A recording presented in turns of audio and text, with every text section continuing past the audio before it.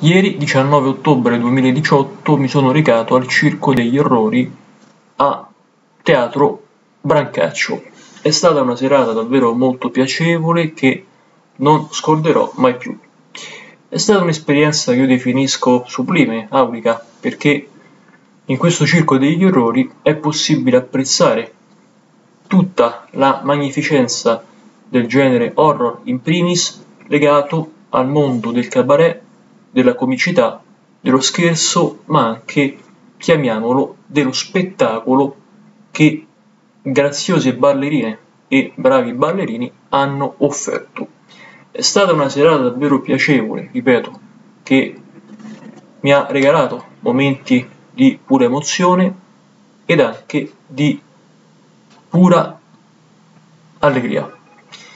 La cosa bella di questo circo degli orrori è che innanzitutto è un circo che coinvolge i presenti, ma al tempo stesso è un circo che offre uno spettacolo coreografico di grande bellezza, di grande efficienza, di grande fascino, a partire dalle ballerine, dai ballerini, fino ad arrivare a numeri veramente pazzeschi di contorsioni e di quant'altro. Ovviamente non posso, diciamo così, raccontare in maniera completa, quindi esaustiva, quello che questo circo ha offerto, anche perché altrimenti una persona non andrebbe a vederlo, e invece è bene recarsi al Teatro Brancaccio per apprezzare questo circo degli orrori che sa davvero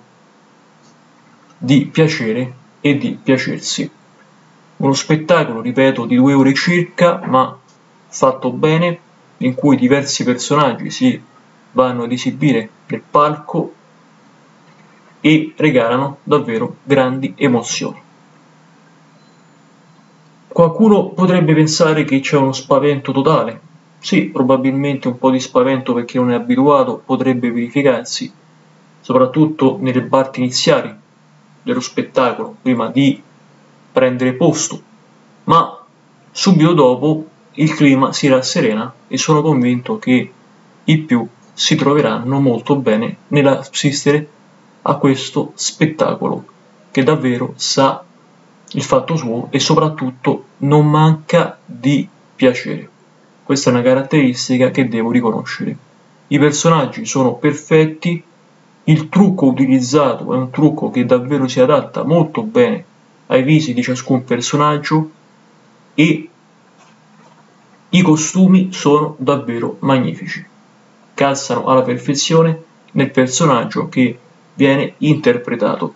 Non fatevi spaventare, diciamo così, dal modo di parlare che hanno i personaggi perché è un ruolo quello che loro vanno a interpretare, ma se qualcuno può, probabilmente può entrare in soggezione, dico a questo qualcuno, può starci, è normale, anche io all'inizio ero impacciato, poi però mi sono notevolmente sciolto.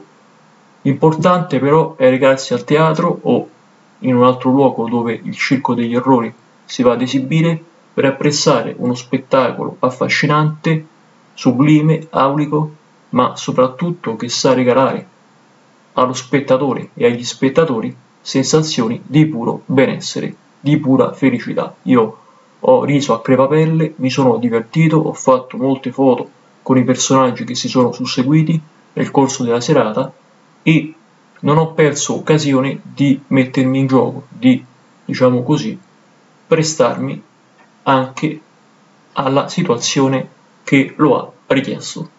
Faccio i complimenti a tutti gli attori e a tutte le attrici a tutti quanti i ballerini e alle magnifiche e sensualissime ballerine perché hanno davvero regalato una serata piacevole a me stesso ma anche ai miei cari. Bene, complimenti dunque a voi tutti, a tutti gli attori e le attrici anche perché sono stati davvero magnifici, straordinari ed hanno davvero regalato tutto ciò che di più buono può essere visto.